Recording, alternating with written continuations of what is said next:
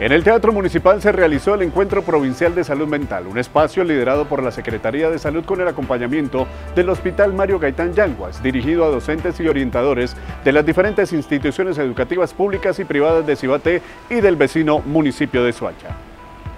La Secretaría de Salud con el apoyo del Hospital Mario Gaitán Yanguas desarrollaron el Encuentro Provincial de Salud Mental. En esta oportunidad estuvo dirigido a docentes y orientadores de las instituciones educativas públicas y privadas de Cibaté y del municipio de Soacha. Lo que buscamos es intercambiar conocimientos, experiencias frente a la formación, el comportamiento de niños, niñas, jóvenes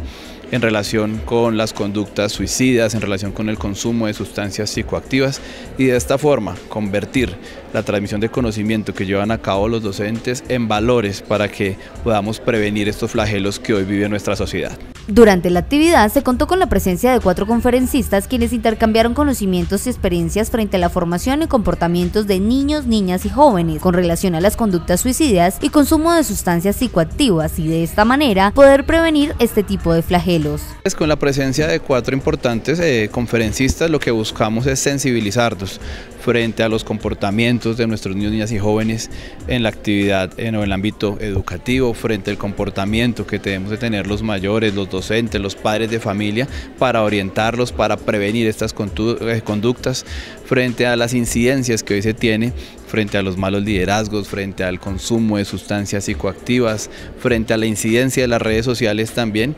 que muchas veces acrecientan esta problemática y generan eh, que se lleguen a, a consumar estos hechos tristes que hemos vivido en nuestros entornos. El primer mandatario realizó una invitación a los padres de familia y comunidad en general para que participen de los diferentes programas que ofrece la administración municipal en la prevención y acompañamiento de profesionales frente a las problemáticas sociales que se pueden estar presentando al interior de los hogares. Invitar a nuestra comunidad para que haga uso de los diferentes programas que adelanta la administración municipal con el fin de conservar, de preservar la salud mental en nuestra comunidad. Nosotros hemos implementado en el gobierno los centros de escucha, que es un espacio mediante el cual se brinda asistencia psicosocial, terapéutica a aquellas personas que tienen algún tipo de conducta suicida o que tienen algún riesgo de caer en estas conductas. Lo que buscamos siempre es escucharlos y atenderlos de forma oportuna, de forma apropiada